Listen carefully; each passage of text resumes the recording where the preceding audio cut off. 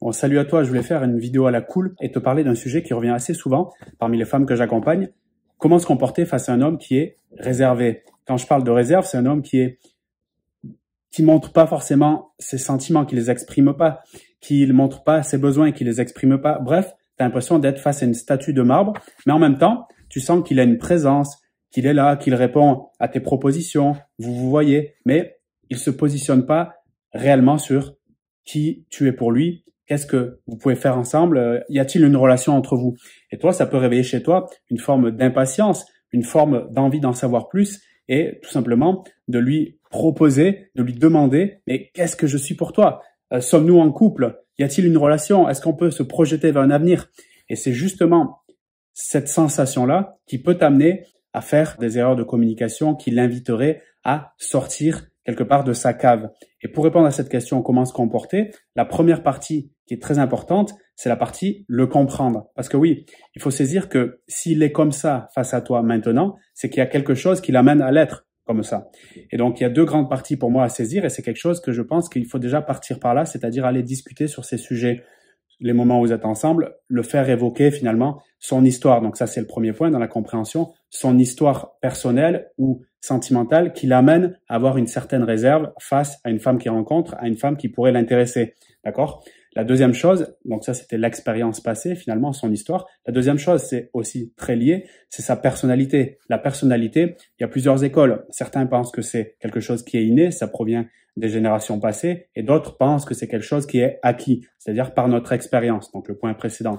Moi, je suis partagé un peu entre cette idée, c'est-à-dire que je pense que ça vient des deux. La preuve, tu peux avoir des frères et sœurs et avoir des personnalités différentes entre les frères et les sœurs. C'est par exemple mon cas. Mon frère est totalement différent de moi. Justement, lui, il est plus réservé, plus dans sa bulle, alors que moi, je suis plus extraverti, plus dans l'expression des ressentis, des besoins, bref, assertif. Donc, on peut être d'une même famille et avoir des personnalités différentes, encore une fois, par rapport à de nombreuses choses, notamment notre histoire personnelle, les croyances qui vont être introjectées par les amis, la famille, ce qu'on a vécu, nos blessures, nos doutes. Et cette partie-là, le comprendre, donc au fond, aller communiquer sur ça pour saisir son monde, pour moi, c'est la première chose, parce que dès que tu le comprends mieux, son fonctionnement, ça te permet de limiter les effets de j'aimerais qu'il soit comme moi inconsciemment, c'est-à-dire qu'on soit finalement pareil, qu'on exprime notre amour ou notre considération de l'autre de la même façon. Donc le simple fait de se poser, de se dire, mais en fait, oui, il y a quelque chose vraiment de très puissant. C'est peut-être d'ailleurs ça qui est attirant chez ce genre de personnes. Il y a un truc un peu mystérieux à l'intérieur de lui et j'ai envie d'aller le découvrir. Donc cet état d'esprit de curiosité, cet état d'esprit d'ouverture et je dirais même qui fait euh, la différence, cet état d'esprit de patience, de vivre les choses telles qu'elles sont, fait une énorme différence pour justement se mettre en relation avec ce type d'homme. Donc la première chose, comprendre son monde, en parler.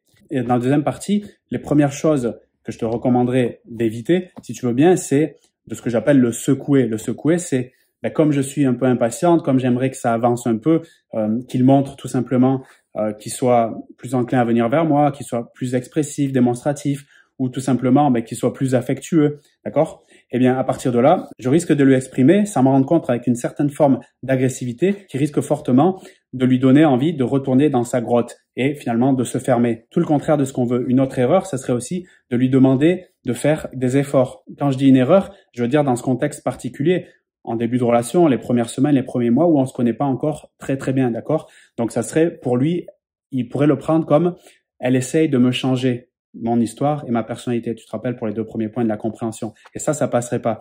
Donc, euh, encore une fois, il va se replier dans sa grotte. Donc, nous, ce qu'on préfère faire dans cette situation, face à cet homme réservé qui est pas facile pour lui d'exprimer ses sentiments, ses besoins, et même on sait pas trop où il en est dans la relation, la première chose qui est ultra importante, et c'est valable finalement avec toute personne, mais particulièrement avec ce profil-là, c'est de reconnaître son monde intérieur.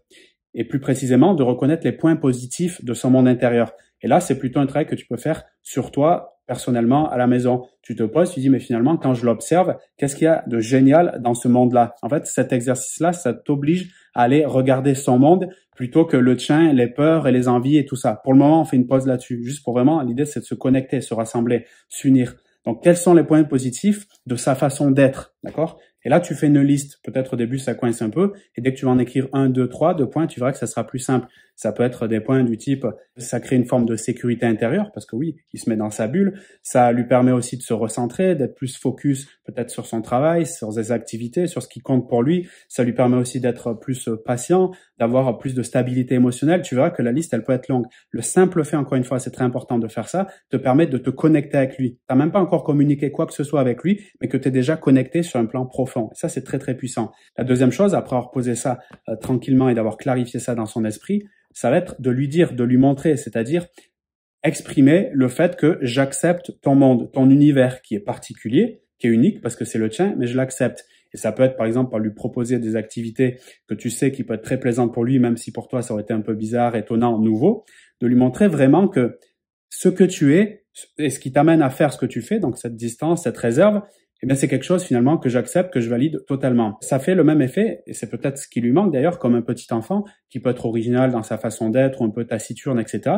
Eh bien de lui dire, tu sais, ce que tu es, je suis d'accord pour l'accepter. Et j'ai même vu, comme on l'a vu dans la liste précédente, des points positifs, et tu peux même lui signaler, qui me font dire finalement que ton, ton monde est un monde plutôt sympa et finalement merci de me le faire découvrir. Et là, ça rentre dans le troisième point directement, le fait, comme je l'ai fait ici, de valoriser ses attributs, les attributs de son monde intérieur. Parce que je pense que beaucoup de personnes qui sont très réservées, ça c'est mon idée par rapport à ça, manquent particulièrement d'estime d'elles-mêmes. Je pense que, en tout cas, il y a une corrélation que j'ai observée entre le fait d'avoir beaucoup de réserve sur l'expression de ses sentiments, de ses besoins et finalement d'être avec les autres. Il y a une corrélation forte, c'est-à-dire un lien qui se fait entre l'estime qui est soit faible, soit fragile. C'est quelque part aussi, au fond, une manière de protéger son estime personnelle. Donc, ça ne veut pas dire de l'autre côté que les personnes qui sont extraverties, qui montrent beaucoup euh, les choses, qui les disent, etc., ont une forte estime d'elles-mêmes. C'est pas forcément toujours le cas. Mais en tout cas, je l'ai observé euh, côté personne réservée. Donc, valoriser ses attributs, ben, finalement, c'est ce qu'on a vu tout à l'heure.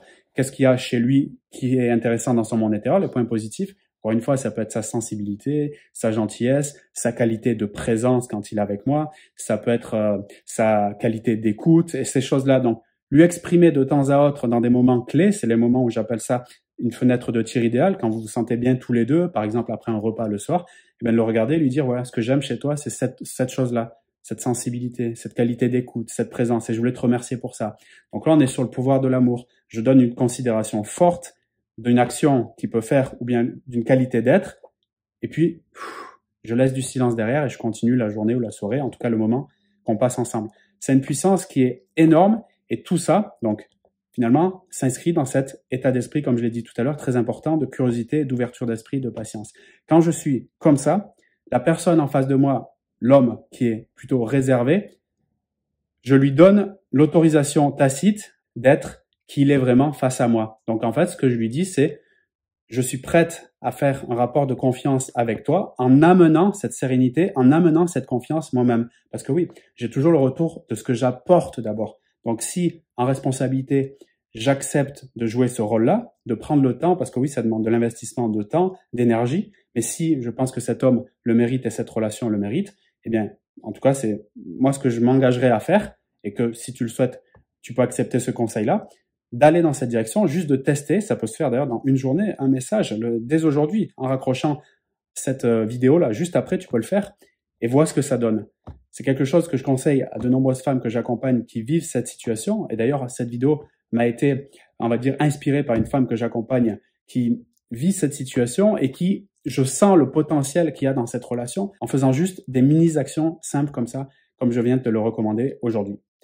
Merci pour ton attention. Tu me feras un retour bah, selon comment ça évolue dans ta situation, si tu vis une situation similaire.